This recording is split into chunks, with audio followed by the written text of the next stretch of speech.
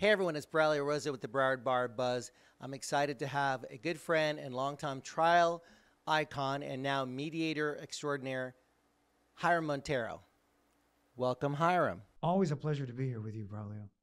And I'm thrilled that you invite me to come here to have a conversation because we do this on social ga- in social gatherings, but this is an opportunity to be able to communicate with a lot of people at the same time. That's the goal, my brother. Yeah, That's the goal. That's why we're here. So, Hyram, as I mentioned, you've been an extremely successful trial lawyer, and that has translated into a successful mediation practice. What are you doing differently that has propelled you into being so in demand? I think the fact that I've I was a litigator for 40 years, uh, starting my practice representing insurance companies and corporations here in Florida and the state of Illinois, and then transitioning over to uh, the plaintiff's side, representing people that were injured, people that lost their lives in uh, motor vehicle accidents, aviation uh, disasters, aquatic accidents, and different types of accidents. I was able to uh, f- uh, close and personal realize how uncertain a jury really is. You go into a trial, whether you're the defense attorney or the plaintiff's attorney, and you relinquish all control over the outcome of the case to six people. And I always like to say that these six people, wonderful as they are, they have two things in common. They have a Florida driver's license and they really don't want to be there. That's It's the It's the truth. Yeah. They don't want to be there because if they can, they, they try to get off being on jury duty because, particularly if it's a long trial and you're going to have them there for a week, two weeks, three weeks, four weeks, or more, you're asking people to step away from their routines in life, picking up their kids from school, taking them to soccer practice, taking their parents, if they're elder, uh, elderly parents, to the doctor for appointments. They're answering emails. They can't do that when they're in trial. They're listening to the evidence. They're trying to be good, civic minded citizens, listening to the evidence, but at the same time, they've got their own lives to think about. So it, there's a great amount of uncertainty. You really don't know how a jury is going to react to a, a fact pattern that's being presented to them over an extended period of time. And for that reason, I am committed to the mediation practice. And I bring to the mediation practice years of experience defending claims and years of experience presenting claims. And I always like to tell my clients uh, in a mediation setting that I am there to build a bridge toward a settlement, but I can't do that without their help. I need them to help me build that bridge. And I'm committed to build, build that bridge because at the mediation, it is the last time that they have total control over the outcome of the case. And that's really why I am excited to be a mediator. It's the right moment in my life to do what I'm doing. I've enjoyed being a litigator. Believe me, I loved it big time. Uh, and um, now I'm at a different phase of my life, and I love being a mediator. I love bringing people together and building that bridge toward a settlement. So I never thought about it that way that um, when you go into a trial, you are relinquishing all control. A hundred percent to six people. Yeah. You can prepare for a case, Braulio, for years. You've taken a hundred depositions. You've summarized the depositions. You've taken notes. You've read the law. You've prepared your witnesses. You've prepared your client. You make your opening statement. The witnesses come in. And then it's all in the hands of a jury how they take it, how they receive it. And oftentimes you have a judge asking asking the jurors questions after a witness testifies. And it's interesting, sometimes a juror will ask a question you never really thought about. And, it's an oh oh oh oh kind of yeah, an- question. like, whoa, that's a great question. so uh, so uh, yeah, it's it's it's it's uh, being a litigator is is is phenomenal. It's very rewarding because you're representing people, and uh, you're you're doing a good thing. so would you say to uh, your co- your colleagues uh, that are still doing trials that unless they ha- are sure that they have a slam dunk, mediation might be the best way to go? A hundred percent. Um, and no one really has a crystal ball. I, I can't tell you over the years how many times I would go into a trial without a doubt thinking this is what's going to happen. And you're always surprised.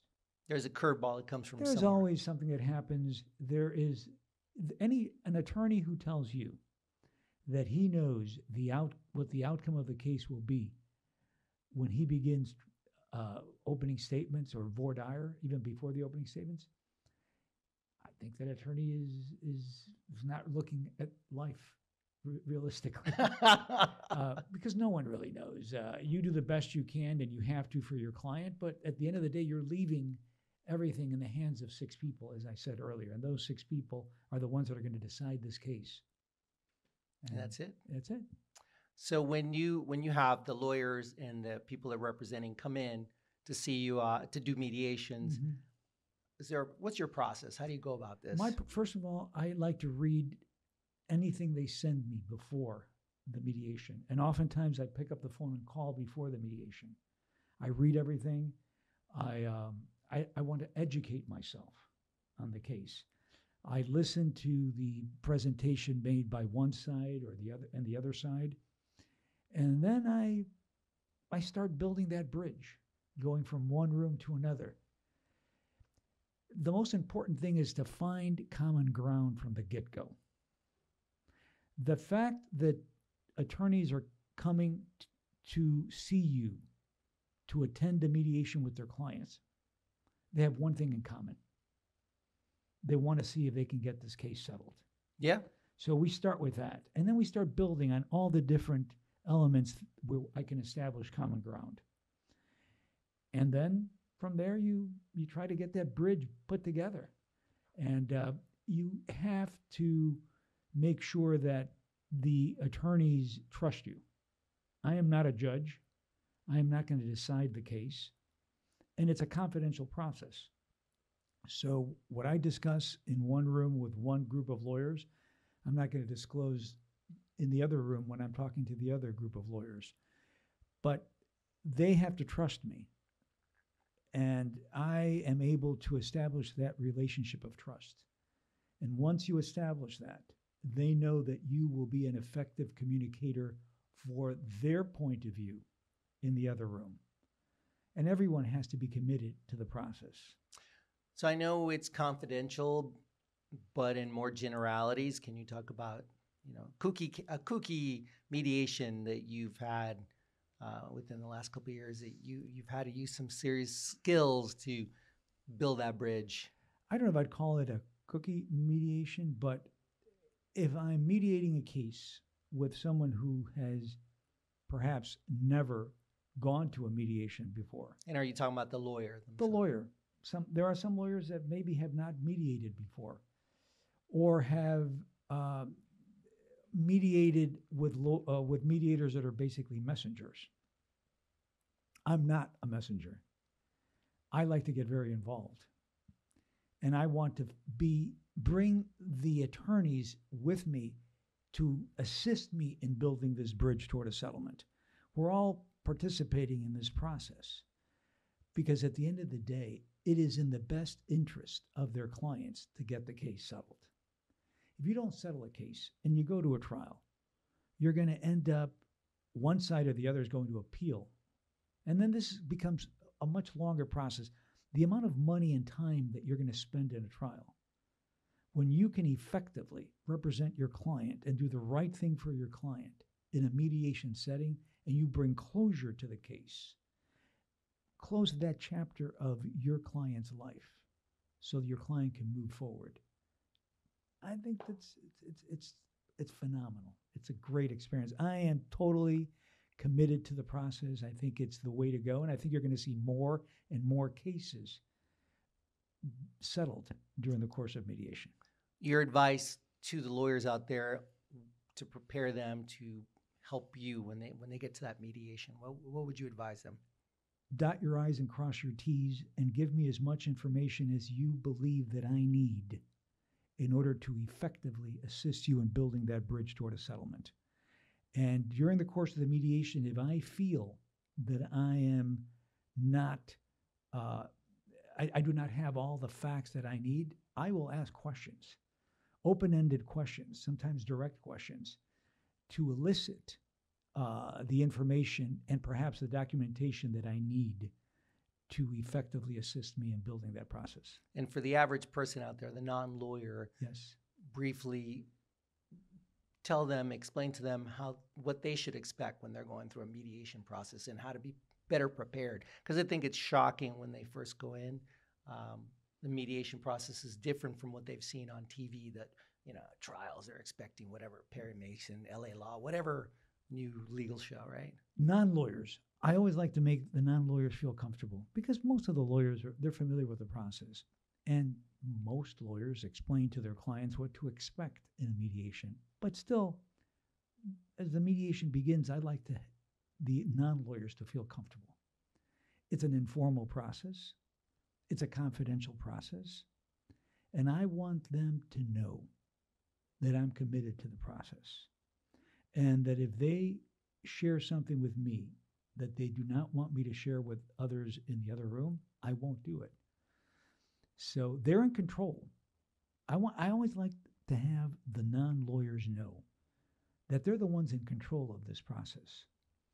And I'm there to assist them. I don't think they know that. I think No. a lot of time the non lawyer gets in there and they're looking to their lawyer to kind of guide them. I'm not sure that that they No, know. The They realize. client is the one in control. It is your case, whether it's being defended or it's being prosecuted, whether you're the plaintiff or the defendant.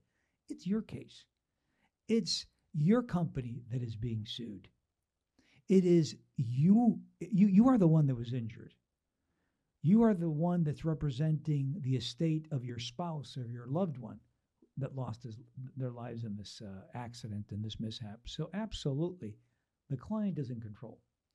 The lawyer is, is is just the conduit to bring the facts before a mediator and later before a jury. Well, let's stop the process at the mediation so we can bring closure. That's what I say. Yeah. So uh, on a lighter note, Yes, sir. Christmas Eve dinner. You're Hispanic. You grew up in Chicago, though, Yes. and an Italian neighborhood. Look at that. So are, are, are you going to have rice and beans and pork, or the the, uh, the feast of seven fishes? Well, you know what? I I kind of I prefer fish. Even though I grew up eating uh, rice and beans and pork, um, so we kind of do a combination. You know what? It's funny at, at our house. My we often my wife likes paellas, so we often do that kind of a Spanish seafood combo, which is paellas, and we have bacalao and Well, and, and all, and, all, and all kinds of things. Salted that. cod. Of course, salted codfish. So uh, we do a combination. Uh, it's Love it's we don't do a strictly Hispanic Christmas Eve. I would say it's more of a an American Christmas Eve where we bring in different foods that we like along the way. Yeah, it's a fusion. I like it. We are all products of this great fusion. Yeah. fusion. You know, the, the United States is is a the best country in the world because it really we are um, uh, we are citizens. I, I always say Americans are work in, works in progress. What an American was a hundred years ago is not what an American is today. It's a good point. We're works in progress, and um, you talking about the Hispanic community. Uh, Hispanics have been in American history since the beginning. Just go up to St. Augustine That's and true. Uh, right down up the coast, and you see that uh, the Hispanic community has been in the United States. What is the United States from the beginning? But I think the influence of the Hispanic community has become more pronounced over the last Yeah. 40, 50 years. And uh, we are part of the entire American experience. And um, we are part of the fusion that we all enjoy here. It's interesting you brought up that because I, I recently saw something about it. And I've never been to St. Augustine, but supposedly there's a street called Avilés Yes. Street there. That's my other last name. There you go. So it's just kind of funny, serious. No. I mean, I'm Rosa, but my other, my my mother's name is Avilés. And when you're walking around the streets in the old section of St. Augustine, the, the Spanish culture is, is obvious everywhere. Yeah. And I remember going with my parents as a little kid. My mom and dad would say, Remember, the Spanish were here before the English. I love it. Too funny. So, uh, hi, how do uh, people get a hold of you if the, they want to contact you? Well, if they want to contact me, our phone number is 954 799 5000. And uh, your since I am- website, your website. my website also, Ma- monteromediation.com. Uh, that's a way to reach me as well. And um at our office, we're multilingual. I, I speak Spanish and Italian. I've, I've actually had mediations where I have conducted the mediations in Spanish. Wow. And uh, sometimes it's been a Spanglish where one of the clients doesn't speak English well and only in Spanish, and we go back and forth. And the attorneys appreciate that. If you're representing a, a, a you have a client, let's say you're not, uh, you don't speak Spanish well, and you're representing a client that does speak Spanish or that Spanish is his or her dominant language, I think it's very important for that client to have a mediator there that he or she can speak to in Spanish so that he or she can really understand the process Feel comfortable. and feel totally comfortable. Because as I said earlier, when the mediation begins, you need to establish that relationship of trust Yeah. with uh, with the client because that is his or her case. Sir, as always, thank you for coming. I enjoyed it. The pleasure is mine. Thank you so much.